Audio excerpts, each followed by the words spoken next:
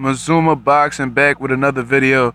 Alright guys, uh, since I haven't been really talking on this situation between Keith Thurman and Shawn Porter that's coming up this weekend, June 25th at the Barclays. You know, this is going to be a really intriguing fight. In my opinion, this will be the fight that determines who is the best welterweight in the division. Um, you know, although Kell Brook has beaten Shawn Porter, uh, he hasn't really been stepping up in opposition since he had faced Shawn Porter, and thus uh, I feel like Shawn Porter has proven more, bounced back, um, and has fought has fought in more uh, solid opposition than Kell Brook, uh, being Malignaggi, which he had fought before Kell Brook, and uh, Adrian Broner, Bonet, so on.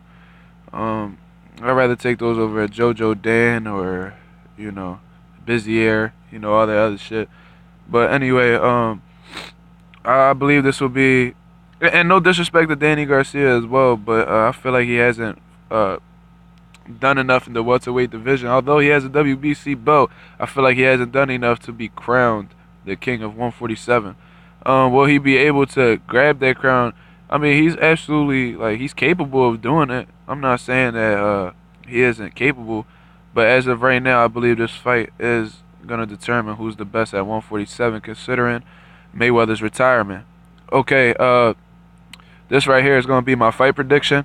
I I've done some like hev- like heavy thinking about this, um, cause you know one day I'll be thinking, yeah, man, this is this is uh this is uh definitely this is definitely in the bag for Keith Thurman, and then uh I'll get to thinking, and be like, damn, but Shawn Porter, man, that that boy, that boy, he he, he might give him the works.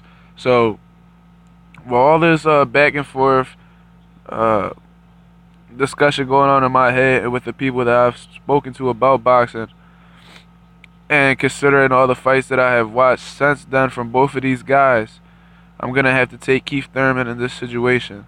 Um,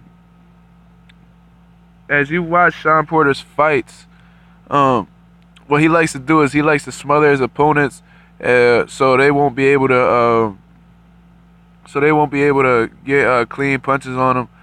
Uh, and he'll like to throw, he'll throw like a couple, he'll throw a lot to the body, throw a couple to the head, and pretty much outwork you.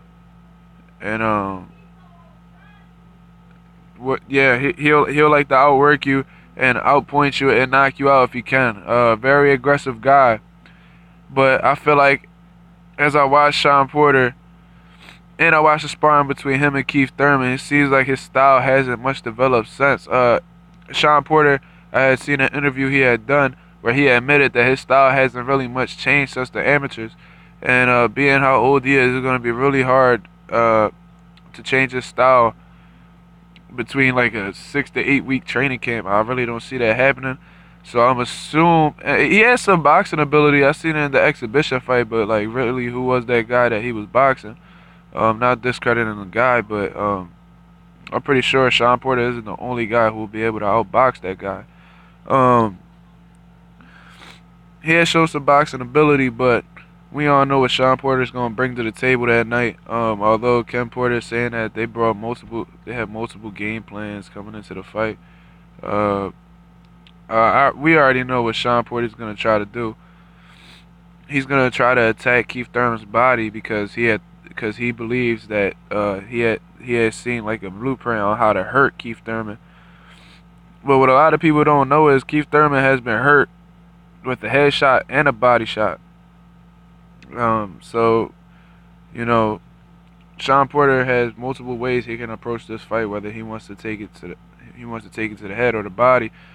But I believe that uh, Shawn Porter's aggressiveness and how the way he comes in reckless during his fights is gonna cost him in this fight. You know, Shawn Porter, Shawn, I mean Shawn Porter, Keith Thurman is a real powerful puncher, and he has shown like in the Leonard Bundu fight, he's he, he has shown that he is able to punch on on uh, several kinds of angles.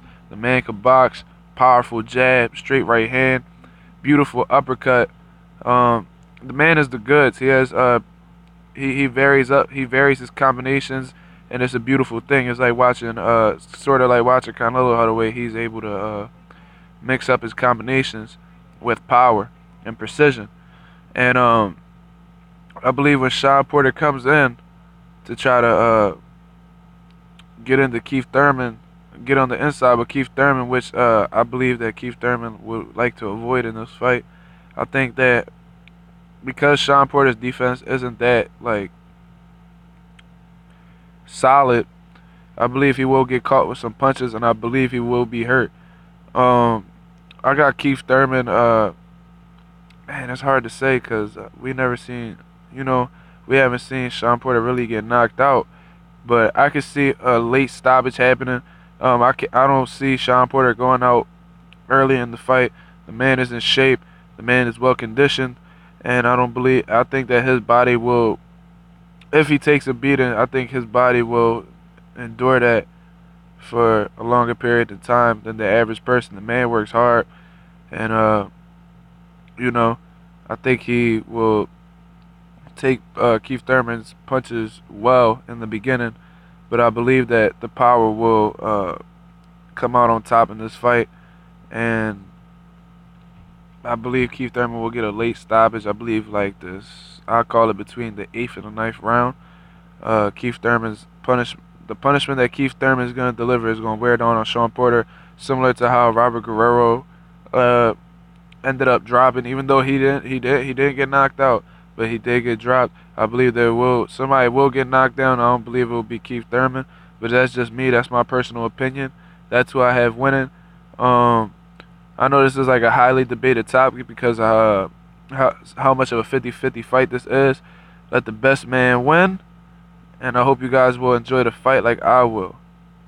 This is my prediction on the fight. Let me know what you guys think about this. This is Mazuma Boxing, and we out of here.